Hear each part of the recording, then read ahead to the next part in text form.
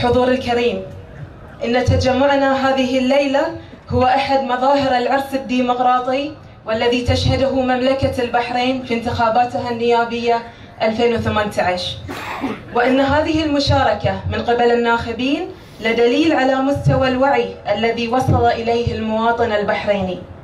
يجمعنا في هذه الليلة في هذا المقر المبارك شاب طموح.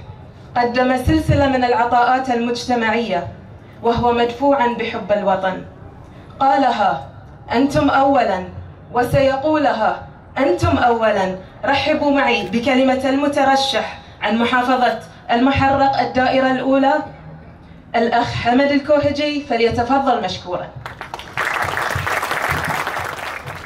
السلام عليكم ورحمة الله وبركاته. يشرفني هاي الحضور الطيب. إخواني السادة المترشحين للمجلس النيابي 2018 أنا أخوكم حمد الكوهجي مرشحا الدائرة الأولى في محافظة المحرق اللبسيتي في البداية خواتي الكرام أتشرف بوجودكم وموجودين معي في هاي المقر وهاي الاحتفالية. يا جماعة أنا بديت ولله الحمد تقريبا أربع سنوات في خدمة هذه الدائرة. سعيت بالله الله يقدرني ان أتواصل مع الجميع. أصحاب مجالس اكل لهم كل احترام وتقدير خوات كانت عندهم بعض القضايا وبعض الأطروحات.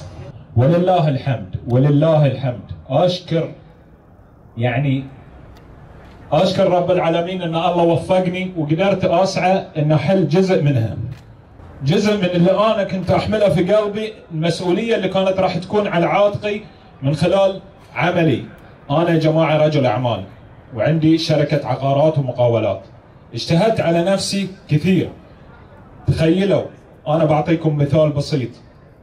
فيا جماعة انطلق عليه انطلق عليه شيء وايد أفرحني ما حزني هذا يقدم خدمات بلدية. هذه يسوي نقع. هذه يعدل شوارع هذه أنا برويكم الخدمات اللي أنا قدمتها وأنتم نظروا واحكموا. شغل. المهم يعني هذه كان إعلان ترشيحي للانتخابات النيوبيه في 2018 حق الدائره الأولى. مونتاج وتألق المذيع عصام ناصر والشباب. شغلته؟ طبعا هذه كل كل كل الجماعه يقدرون يقرون. حمد الكورهجي اقترح سابقا بفيديو منذ حوالي شهرين. طبعا هذه يا جماعة تقدم قبل فترة. بتعديل الإشارات الضوئية وميض والحمد لله رب العالمين بانتظار الموافقة ما صارت هذه إنما صارت جهة شركة ألبا وبتلكو وهي موجودة نعم شغل العقبة طبعا هاي يوم حلوا المشكلة ما طاف لها نص ساعة تقريبا وانحلت جزاهم الله خير رجال وزارة الداخلية على أخوه أخوي السليطي وعبد الله الله يجزيه خير تجاوب معنا في حل المشكلة. طبعا المجلس القادم بلا تقاعد والضريبة المضافة. كنت أتمنى ان في صوت. هذه نهائيا ما في خدمات بلدية. نهائيا ولا ممكن واحد يقدر واحد في المية يقول لي مطلب شعبي المجلس القادم المجلس النيابي وأعضاء الشورى بلا تقاعد. هذه كان أحد اللي, اللي يعني أنا يا جماعة عندي قناة خاصة هي قناة حمد الكوهجي ولازم ولله الحمد هذه وصلني لكل أغلب مجالس اللي في محافظة محرق ومحافظة ولا بالأخص في بسيتين المجالس اللي كلهم كل محبة وتقدير. ما كان عندي تفرقة ولله الحمد. وعبد الله أخو صديق. الدكتور علي بوفرسن أخو صديق. الدكتور محمد الحسيني أخو صديق. عيسى صالح الحسن أخو صديق. يشرفني ان أتنافس بينكم. منافسة شريفة. ولله الحمد. اقسم لكم قدام هذه الجماعة كلها.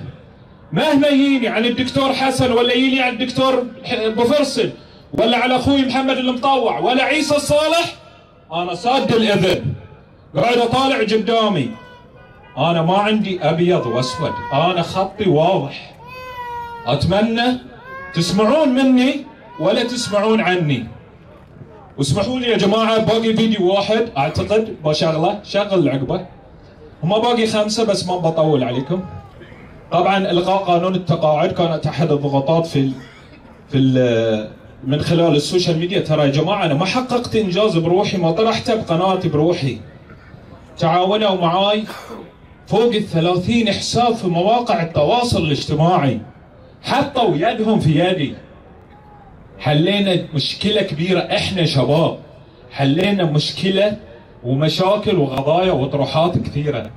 أنا أحب أشكركم أشكركم أشكركم أنتم تاج على راسي. بفضل هذه الحسابات اللي يديرونها شباب أنا اليوم هني كانوا يوصلون لي قضايا من سترة من مدينة عيسى من الشمالية. ولله الحمد ولله الحمد. كنت أكتفي لو ما قدرت أحل إن شاء الله. كلمة إن شاء الله كانت تكفيني. هذه أهم شيء خلانا اترشح ركزوا فيها 500 وظيفة طارت من بحرينيين بدون محاسبة. أتحدى. أي نائب؟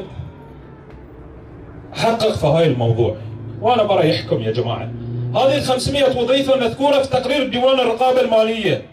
وراحت لأجانب بعقود لمدة 37 سنة. من أولى فيها؟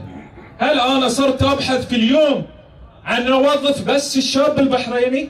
أنا مو نظرتي اني اوظف الشاب البحريني، أنا عندي أكبر إحصائية موجودة في بسيتين بعدد العاطلين. عندي أكبر إحصائية موجودة في محافظة المحرق وتقدر ب 14%. اللي أنتم شايفينه دي كله بفضل شباب بحريني ناس حطوا يدهم في يدي ما خذوا مني دينار أحمد رب العالمين وأشكركم كلكم وهم مو موجودين هنا بعضهم موجود وبعضهم برا الميدان يوفر لكم راحتكم ووصولكم لهذه المجلس أو هذه المقر. اسمحوا لي إذا طولت عليكم. أنا أخوكم محمد الكوهجي دكتور محمد الحسيني دكتور علي ابو فرسن أخوي ابو عبد الله. أحبكم في الله.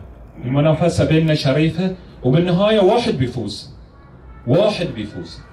اللي عندي بعطيه اللي بيفوز أشكركم.